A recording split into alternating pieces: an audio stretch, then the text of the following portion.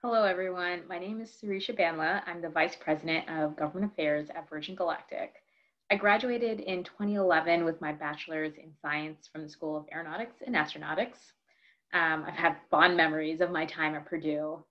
Well, maybe not the all-nighters in 2106, but definitely fond memories of being a part of a group of passionate individuals who many went on to becoming some of my best friends. Um, they're now at NASA. They're working for companies like Blue Origin or SpaceX or, or Virgin, um, or in just other industries that are just equally exciting and um, innovative.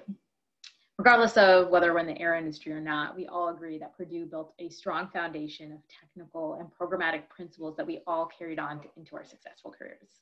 So, happy 75th anniversary to the School of Aeronautics and Astronautics. Um, I'm so proud to be a Boilermaker. Woo.